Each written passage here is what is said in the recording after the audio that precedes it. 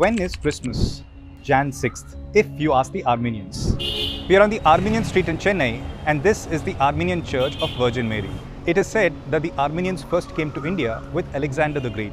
In the 1600s, the Armenians were an important, successful merchant group in Madras, and they contributed significantly to the city.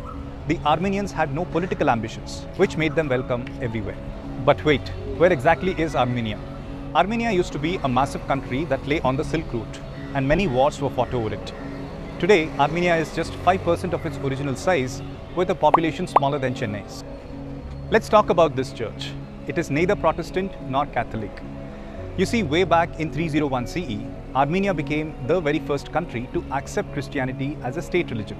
Then in the 5th century, there was a split in the church, and many Eastern churches, including the Armenian church, broke away from the Roman church. So the Armenian church doesn't follow the dictates of the Vatican. The Armenians have their very own pope, they have their own stylized version of the cross, and their Christmas is on 6th of January, the day Christ was baptized. Interestingly, 6th of January was the original Christmas day until the 4th century, when the Romans decided to change things up. The first Armenian church in Madras was destroyed when the French seized the city. This structure was rebuilt around 250 years ago. And this quaint church on Armenian Street continues to be a pocket of serenity in this noisy neighborhood.